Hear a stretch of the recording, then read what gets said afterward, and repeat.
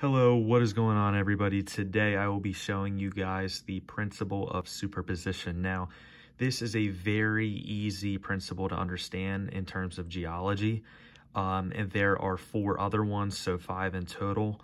And basically what the principle of superposition says is that in undisturbed sequences of rock, the youngest layer is on top and the oldest layer is on the bottom. So let's take a look at what I mean by that. So this is the most basic example. And what I laid out for you guys is uh, rock sequence one.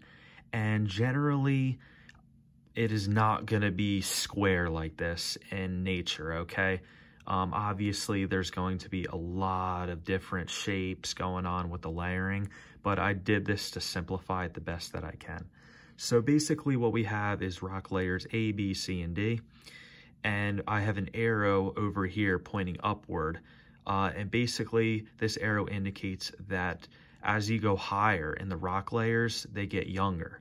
And vice versa, um, if you drew an arrow downward, the rock layers would be getting older. So that means rock layer A is the youngest and rock layer D is the oldest. So as you go upward, D is the oldest, C would be the, the second oldest, B would be the third oldest, and A would be the fourth or, or the youngest. So I hope you guys have caught on by now. Um, this is rock sequence two. Uh, I have a question, and it is which layer of rock is the oldest and which is the youngest? Now, again, from the law of superposition or principle of superposition, right, that we can refer back to, the youngest layer is on top and the oldest layer is on the bottom, right? That's all we need to answer this question.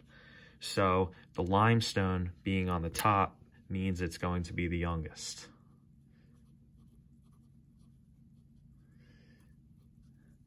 And obviously that means the granite is going to be the oldest. And it's as simple as that, guys. I mean, it's very, very um, super easy to understand, and I hope I broke it down in a way that was very simplified.